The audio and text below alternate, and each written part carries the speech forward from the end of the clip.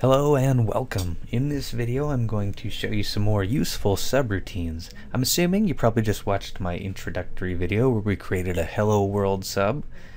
That was not a very useful sub. All that happened was the user clicked on a button and a message box displayed hello world. There was no real interaction there other than a button click.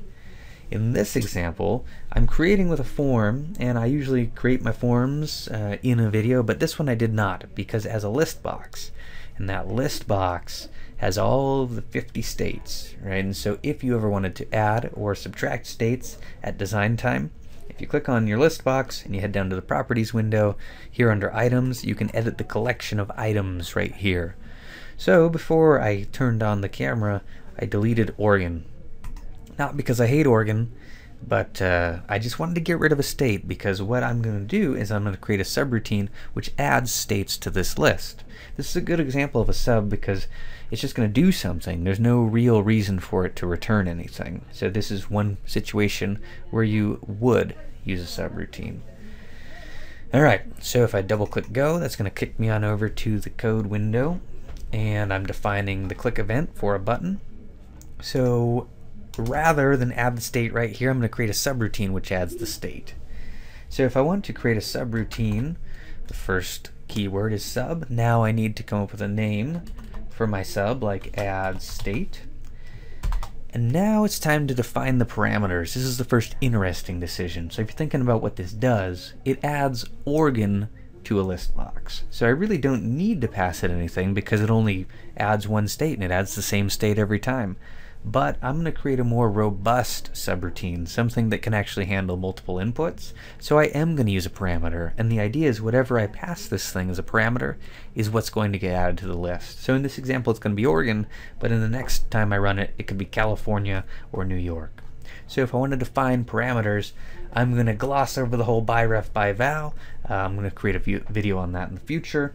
And so I'm going to skip straight to the part where I give it a temporary name like st and I need to give it a type. A state sounds like a string to me. And now if this was a function, I would, I would uh, define my return type here, but since it's a subroutine, there is no return type. Notice that by val is inserted automatically. We'll talk about that later, why that's the case. It's possible that that does not display uh, when you create a subroutine, and that's just uh, preferences, more or less.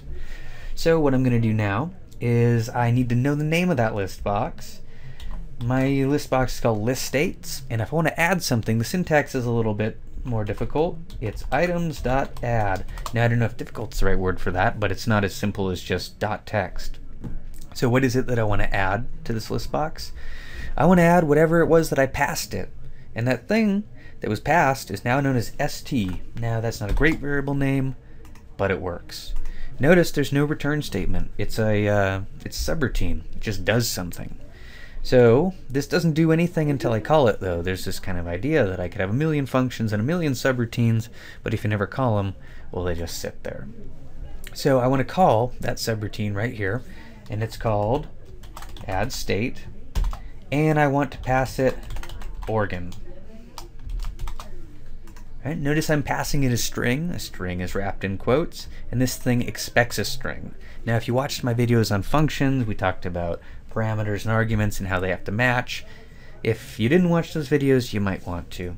So if I tried to pass this thing an integer, it's not going to work, right? Because there is no function and no sub called add state that takes anything other than a string. So now if I run this program, I'm going to show you a couple things. One of them is I can scroll my list, and you just got to take my word that Oregon's not in here. And this list certainly doesn't end with the word Oregon. If I click go, what happened? Nothing happened. Or did it? When I scroll to the bottom of my list, you'll see that Oregon was added. And so whether it was in the list or not, yeah, I can't really prove that to you, but I can show you that it's adding Oregons every time I press go. And you can see where you could either use a subroutine like this to build the list in the first place at runtime. Um, but the kind of problem with this is, is that it never asks the user for any input. This would be a much more useful form if I did something like put a text box on there. And I'll do that right now. So how about I put a text box on here. Give that text box a name like text state.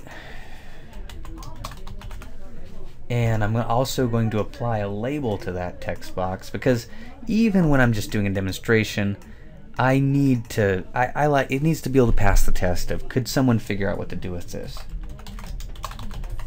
So enter state. So the idea that a user will enter a state here and then it'll add that state to the list. Because as this stands right now, it's just going to add Oregon over and over again. And that's probably not what you want it to do. So I'm going to head into the button, click sub. I'm going to create a variable called state, uh, and a good type would be string. And I'm going to assign it the value that was entered in text state. So if I'm going to sit here and digest this for a minute, I've created a variable called state of type string, and I've assigned it the value that was entered in the text box here. So if you look at what's going on here, I've collected the data from the user, and at this point right here, I pass it. I'm still just passing Oregon, and I don't want to pass Oregon. I want to pass state. So in the original, uh, when it just said Oregon in quotes, I was passing a literal. Now I'm passing a variable. So if I run this thing, and I enter something like OR, and I click go, and scroll to the bottom, you can see OR got added. And now if I do NV, click go, and it'll add whatever. So now we've got kind of a dynamic program and it's actually serving a purpose.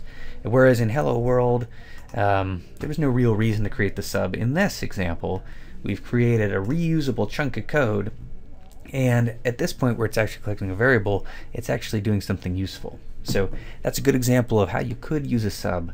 I will create another sub in my next video. Uh, it's going to be list box oriented, so that's going to add a level of complexity, but it's uh, also going to be kind of interesting. So hopefully you'll be there to watch that.